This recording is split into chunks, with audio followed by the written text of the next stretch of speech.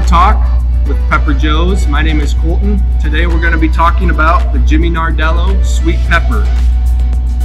This is a really popular pepper that has been around for a long time but has just recently caught on in popularity. It's a fairly compact plant, only grows about two feet tall, maybe slightly more. But on that small little plant grows these huge, long, sweet pods. They can grow up to 10 inches long and they can twist and turn in all sorts of unique shapes. We had one that became almost a helix spiral and really interesting to look at, really great in the kitchen. Um, it's a quick growing pepper like most sweet peppers are, only about 80 to 90 days to harvest. Um, so midsummer, you'll be already harvesting these sweet peppers while you're waiting for your hot ones to, start growing. So let's take a bite and see how it tastes. Really thick pepper with a unique texture.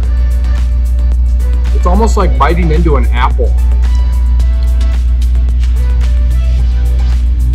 Just a really pleasant flavor.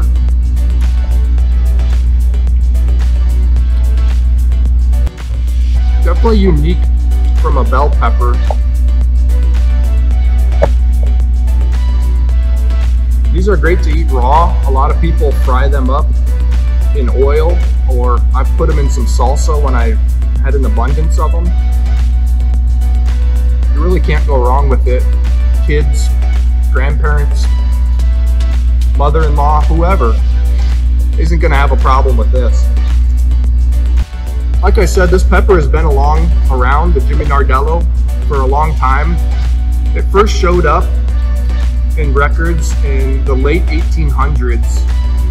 Uh, the story is an Italian family came over, immigrated to the United States in the East Coast, and that's where they, they brought seeds for this from, from Italy and kept growing it in their family garden. It was a family of like eight people in the 70s, one of the sons, Jimmy, had a few of the seeds left over and donated them to a seed bank. And the pepper was then named after him, Jimmy Nardello. And now we get to enjoy it today. So again, Jimmy Nardello, sweet pepper, no heat, can't go wrong. Get our seeds online. We also have had plants before pepper. Thanks for watching.